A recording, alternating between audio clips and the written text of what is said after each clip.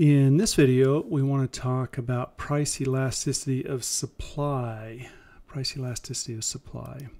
The equation, uh, percentage change over percentage change, percentage change in the quantity supplied over the percentage change in price. You notice that we've changed the numerator here. We're looking at the quantity supplied, not the quantity demanded.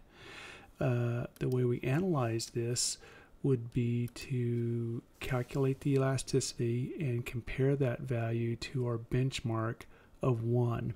If the value is greater than 1, we consider that uh, supply to be elastic. If it's less than 1, it's considered inelastic.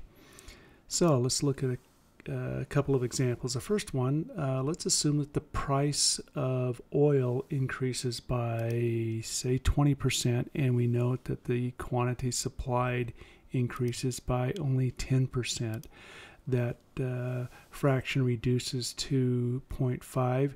We compare that to our benchmark of 1, and we discover that it's less than 1. If it's less than 1, uh, that product is considered inelastic. Let's uh, take a look at another product. Uh, how about pizza? If the price of pizza increases by 20%, we note that the percentage change in the quantity of pizza supplied increases by 40%. That fraction would reduce to a 2. We compare that to our index. It's larger or greater than 1.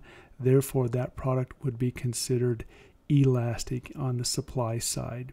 In summary, the price elasticity of supply is the percentage change in quantity supplied divided by the percentage change in price. If the value is less than 1, it's considered inelastic. If it's greater than 1, it's considered elastic.